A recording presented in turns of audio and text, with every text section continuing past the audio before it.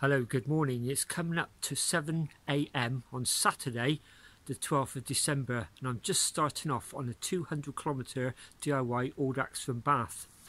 A quick update I finished my last video saying I was going to head down to Southampton Travelodge on a 200 kilometre DIY. I've had to amend that. I've, I've actually rebooked the hotel stay. A couple of family commitments come up, and I just can't make two days away from home this month. Today is the first 200 I've done since early November. I tried not to stray out of the area during the second lockdown, so I'm actually quite nervous about doing the distance today. I went out for an 80 mile ride last Sunday just to see how I was going and a, a, little bit of preparation and I have to say by 80 miles I was struggling so I think I may well struggle today. I'm a great believer in long distance cycling being the first 50% is physical, the second 100% is mental. So I'm going to have to use some of the mental toolkit today. So I'll give you a couple of examples. I've said before, I always calculate my time allowance. First of all, I never refer to a time limit. It's always a time allowance because I just slightly reframe the time and I convert what would be a liability working against me into an asset that I have some sort of amount of control over. So you can just sort of see by slightly altering the context very, very slightly, you can give yourself a massive advantage. The other big strategy I use is calculating the time allowance because I know on this ride in particular I've got 13 hours and 59 minutes. So all round the ride, I can glance at my Garmin and it'll give me an estimated time to finish. The further into the ride you get, it, it becomes more accurate. But I know by starting at 6.30 this morning, I've got till just before 8.30 tonight, so you can see I can lay one on top of the other. You can probably tell I'm talking really fast. I can't afford to hang about today because I'm quite unfit and I'm going to be struggling to get round within the time allowance to be honest. So updates are going to be minimal just at the designated stops for recharging batteries and food. I'll see you on the road. Just before we head off for Midford station there's a lovely late crescent moon and there's a planet just down to the southwest of it. It's probably Venus because it's, it's high just above the sunrise. Heading on that main road there and then at the top of Midford Hill, I'll be getting on some minor roads heading down through the Wylye Valley. It's now 10 to 9, 8.50am. I'm in the Wylye Valley heading down towards Salisbury. A little bit about today's route. I'm heading southeastish down the Wylye Valley to Salisbury, doing a big turn there and then heading north up towards Upavon along the Avon Valley and then I'll start veering off what would it be northwestish then I'll cross the M4 corridor near Chippenham, do a very sharp V, and then start coming back down to Marshfield and then back to Bath along the A A420 Chippenham to Bristol Road and then I'll get on the Bath to Bristol bicycle track.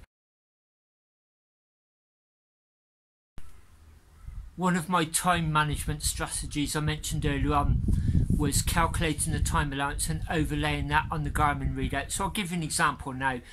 My Garmin is estimating I've got 8 hours and 20 minutes to go till the finish. Clearly that's not taking into account any stops or headwinds this afternoon. I'm doing quite well for time at the moment with the tailwind incidentally.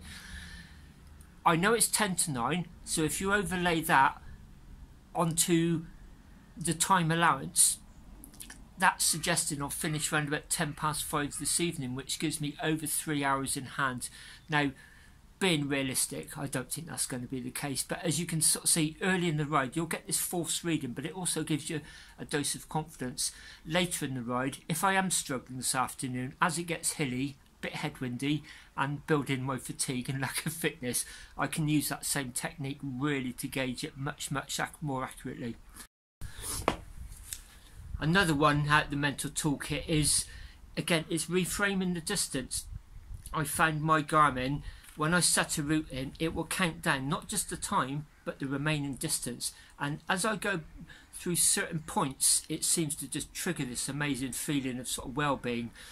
Uh, whenever I go below 100 miles, that I've just passed through 99 miles to go, that's the bulk of today's ride. But say, for instance, when you're doing a 600 kilometre ride, 375 miles, when you've got less than 100 to go, it feels like you're almost home. even though it's almost equivalent of most of today, today's ride. And as you go down, as you get more and more tired, the remaining distance or the remaining goal that you've got to achieve becomes smaller. So you can sort of see as the tiredness goes up, the goal goes down. And they seem to sort of counterbalance each other out. And you get this tremendous feeling of well-being for the last 10 miles as it, it, it discounts down 9.9 miles, 9.8, 9.7, 9.6. So I've mentioned it many times. You just get this amazing feeling of well-being. I've passed through Salisbury. I've done my direction change now. I'm heading north up the Avon Valley. This is really nice. The Wiltshire Avon, two swans there. Just passing through this nice wooded section. Heading up towards Stonehenge. See the sign for it, although we won't see the monument itself. And then we'll pass through Upavon before then another direction change. Time for another little update on the time management.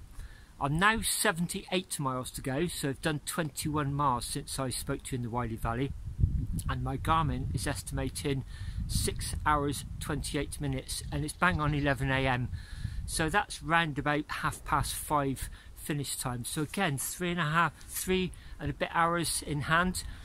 I'm losing a little bit of time. That's more to do with the stopping. I'm pretty sure that three hours is going to shrink the closer I get to the finish but as you can see it allows you to sort of just manage your time because on a DIY you're not going through controls because normally controls act as a bit of a, a, window. If you get there bang on the opening time you're doing alright. If you get there bang on the closing time you probably need to keep your eye on the the distance and the time. Ideally you want to get through there halfway through the time window. You just cannot do that on DIYs you've got to figure out your own system. Also it's coming up to midwinter so it's going to be getting dark quite early about 4 p.m. and if I don't finish say to about 8 8.15 that's going to be four and a half hours four and a quarter hours in the dark. There's a really simple free trick you can give yourself. It's something that's there so it, I just figure why not use it? And it is quite a powerful little pick me up so I'll talk to you about that later on as it gets dark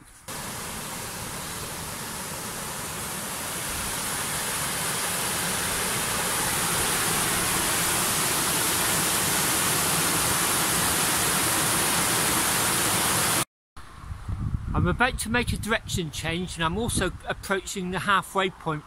It's one of the things I really like about making my routes up via GPS. You just come across these little tracks that other people would have known and probably been very difficult to find on an Ordnance Survey map and this is one of them. There's two roads about to converge. I'm going to go from one road that I've been on for a few miles onto another but to avoid a busy junction it cuts you through this lovely little stretch of the Avon where there's some weirs.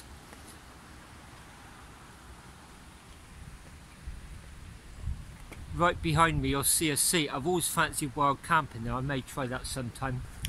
With my time update, the latest ETA is going to be about 10 to 6 so you can see the timetable is gradually slipping away and I'm used to that.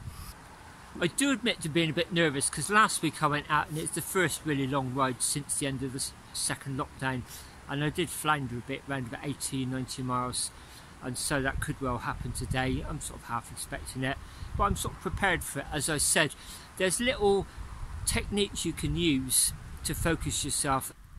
It's 1.30pm now and I'm in the Pewsey Vale looking across at Alton Barnes White Horse, one of the eight Wiltshire White Horses there.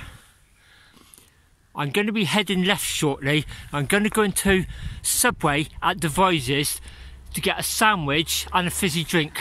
I'm okay for energy at the moment. I'm just very aware that I may go through a bit of an energy trough later on, especially around dusk, so I want to be prepared. As I go into Devizes, you'll see Devizes new horse and is the only one of the eight that appears to be going from left to right.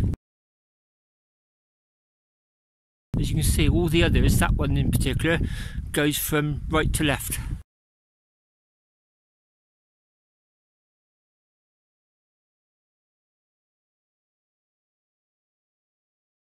I've now got 25 miles to go, so I've just completed 100 miles and I actually feel alright. Last week on my ride, 80 miles, about a mile from Bath, I really started to feel tired. And I thought to myself, gosh, this time next week I'll have 45 miles to go still. But I'm glad I did experience that. It made me take today very seriously with food and drink and just stopping. At the moment, my Garmin's estimating I'll get home at 7 pm. Clearly going to be a bit later now because of this stop. I'm just charging my Garmin, having a sandwich and a bit of a drink. But you can see this morning had nearly three hours in hand, and now I've got about an hour and a half. So you can see I've lost 50% of my breath rate. It quite often happens, especially when I'm on the, the, the heavier straight handlebar 26 inch wheel bike but all going well I should be home 7 7.30 about half an hour in hand. It's always nice to have about an hour in hand. And the reason I practice this technique all the time even when I'm quite fit in the summer and I'm doing the 200s and knocking them out quite easy I just practice the technique all the time. Because if you do struggle on a big ride you can just switch instantly. You've practiced it so often. And you'll sometimes see the emergency service or the armed forces be awarded for outstanding acts of bravery and they always say the same thing don't they? The journalist says them or the interviewer says were you scared? And they say no the training just clicked in. And it took me years to work out why do they always say the same thing. Probably because the journalist in that situation and me and you for that matter would have been scared. The people themselves, they've just trained and trained and trained. They simulated it in all types of conditions until you can just suddenly just switch it on like that. And I think it's the same with this technique I use. When I do need it, I can just switch instantly. Pretty convinced that just making habits like this is one of the simplest ways to just flick that switch when you need it. It's not that late, but it's now pitch black out in the countryside. And the thing with riding in December is you are going to be riding long periods in the dark. But I think there's a freebie that you can use, and it's Christmas lights. I mean, look at this. This is just a church tower lighting up. But for the last half an hour or so, I've been going through villages with lots of Christmas lights. And yes, I know some people sneer at them, but the way I look at it is they're there anyway. You might as well use them to lift your spirits, and I generally do. They they warm me up. They they warm my soul up. I just I just love seeing them. And January is another hard month to ride in as well. And most Christmas lights are still up the bulk of January, and by the time you get to February, the evenings are starting to lighten already. It's a free lunch. Well, it's not free. Somebody's paying for the electricity, as I said, it's there. You might as well use them, and I, I do. I, I really find they give me a massive lift. I'm now about four miles from home on the Bath to Bristol cycle path at Saltford. I've got over an hour to get home, four miles, so I should do it. it's been really good to get round in one piece. I did think I was going to have problems on this one after my little episode last week, but it seems to be fine. It just meant I took more care of the food and pacing myself. It's really good to get one under my belt. Um, I'm going to try and start the Randonneur Round the year again. So I did one in November, and I've done today's, and I'm probably, I would say from experience, the hardest month to do them is in January. I often find December is a lot easier than January, just from personal experience. As I said at the start of this video, I cannot go away to Southampton travel. I've got a funeral to go to in a couple of days. I have rebooked it for the middle of the March, so hopefully I'll ride down then and stay overnight and maybe film that. Between now and Christmas, I'm going to try and get out on my bike and try out some new equipment. It was a bit of feedback I got from my last video, and I got one of my YouTube subscribers to thank for their headset Terry, thanks mate. I'm going to come along here and try and try it out maybe the next dry day and make a video about it. So hopefully I'll see you before Christmas. If not, have a very Merry Christmas everybody. I'll see you soon.